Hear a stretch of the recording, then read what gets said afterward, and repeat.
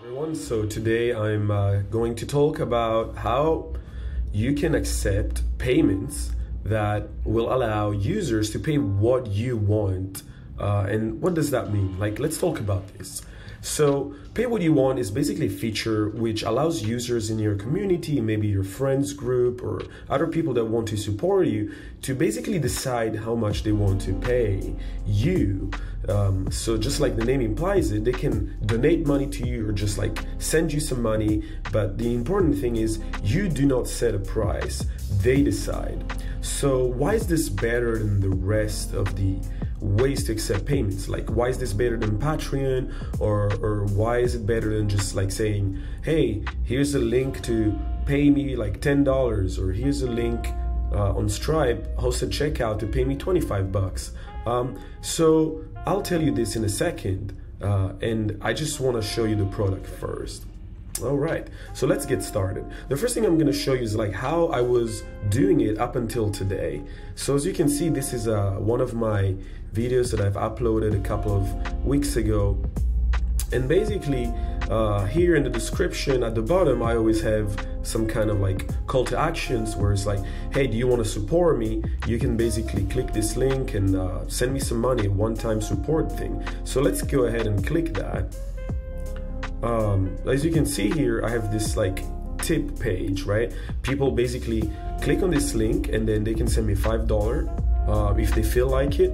Or there's another way they can support me through a recurring payment, and that's my monthly support page, which is like five bucks a month, and it you know it continues for as long as you cancel, right? Until you cancel.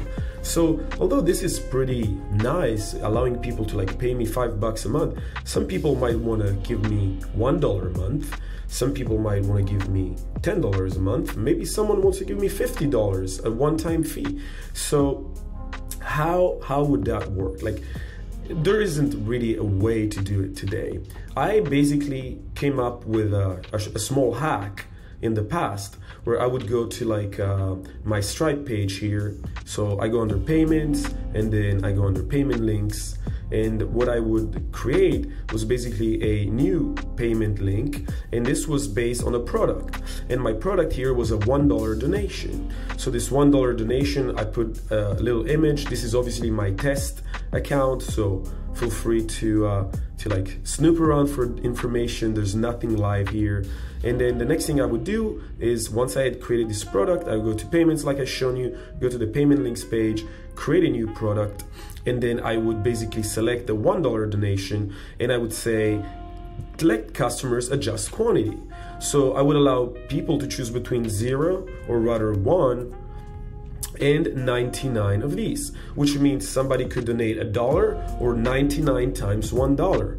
But if you wanted to like say a hundred, well, that's where you kind of hit this uh, this roadblock because the maximum quantity here is 99, so you can only do 99. So then you would go ahead and you'd create this link and as you can see the link is real. It has uh, a way to like open it up in the tab. You can just paste that code and there you go. Here you just select hey i want to donate you know like 99 times a dollar and now suddenly you're donating $99 which is a cool way to achieve kind of like the pay what you want effect but without uh, really using a pay what you want approach so it's kind of like a hack so that is the old way of doing things using this little trick that I uh, and many other people probably around the world have figured out.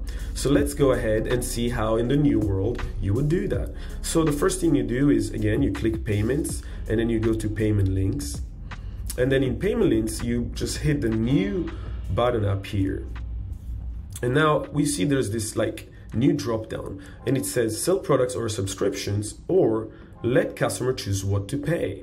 So here it's pretty useful because you can basically say, uh, pay what you want. And then like, feel free to support my content with a one-time whatever you want payment, right? And then you can obviously set some settings here. For example, you can suggest a preset amount. So what is the default value? Maybe it's a dollar right? or maybe you want to make it a $10 and then people can adjust it.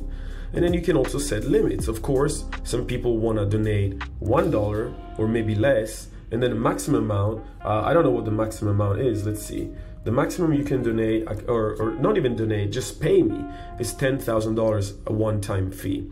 Then there are some advanced options here. This is very nice. You can say it's a payment, you're maybe booking something or maybe you're donating so right now there's three options here and then you can obviously collect tax provide tax ids and all this other cool stuff i am a huge fan of collecting customers uh, phone numbers so i usually take this one because i feel like uh, when you own uh, your audience and you own their information like their phone number you can establish like almost like a more deeper connection right so a, a, deeper connection because you can actually get their phone number and you can text them maybe some like unique uh, insights into whatever you're creating.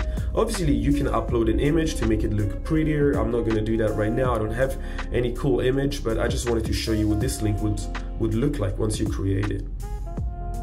So here we go, it's, it's been created. And now Stripe also gives you the option of having a QR code. So if you press the QR code, it generates a QR code, which you can download this QR code image, you can copy it to your clipboard, or you just copy the URL and you can put this URL somewhere in your perhaps your YouTube content or you maybe put it on Twitter or maybe you send it through an email to like the friends that are coming to visit you this weekend because you're organizing like a grill and you're grilling food and you know you just want them to like maybe give you some money to pay for all the food you're going to be grilling. And you don't want to be too like strict about it and therefore you just like say hey you know what? You guys can uh, give me like a dollar or like a hundred dollars or whatever you feel like. Like no no pressure. Like it's just it's just a nice gesture. Other people who might be using this are people you know who are like playing music in the street right? Uh, they can have a qr code and then anyone just scans the qr code and can decide what to donate donate or to pay. So here as you can see i set a $10 suggested charge right? But you can change it and you can make it one dollar or if you're really generous $10000 and then obviously you would go ahead and uh, you would put an email address, your phone number, which again, this is me choosing to uh, to add the phone number, but you can just decide not to have it. Then your card information, 42, 42, 42 when you're in test mode, and that would uh, allow you to to like go forward with it. So let's do uh, Orlie at lf.gg, that's me, and then phone number, let's give a random phone number like that, and then month I don't know, something in the future. CVC 123, name card Bob. And then zip code, this one. And now you can basically donate to myself uh, $10,000, which is pretty nice. Uh, and here you go. The other thing you can obviously customize is the this page, right? Like the thanks for your donation page. It probably makes more sense to redirect someone to another URL. Maybe you have a Spotify account where you're like streaming music. If you're like a busker on the streets and you want people to go and check your Spotify account, maybe you have a, a custom thank you page. Maybe you have some page where you can offer a download hosted somewhere on the web, or maybe something else. Of course, you can also customize all of the looks here. Like here, it looks red, it's really aggressive, but it doesn't have to look like that. I also don't have a logo for my test account, but you could have your own logo or your face or a picture of, uh, I don't know, a cat, something.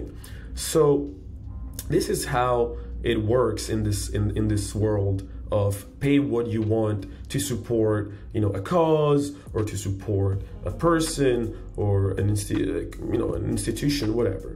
So hopefully this gives you a good idea on how you can create pay what you want payment links directly in stripe and you don't really have to write a single line of code to to have these which i think it's like one of the advantages of this uh, push to like having low code or no code platforms especially as stripe is building more of these features that are low code and no code uh, for the creators out there just like me on my youtube channel or maybe like you on your twitter account your substack or whatever else you might be creating maybe an etsy shop right? Um, so there you have it this video hopefully gives you a good insight into this new feature. And uh, like always you know thank you for watching. And if you like this content you know feel free to subscribe. Maybe drop a comment in the in the comment box below this video and let me know uh, what do you want to see next. Thanks for watching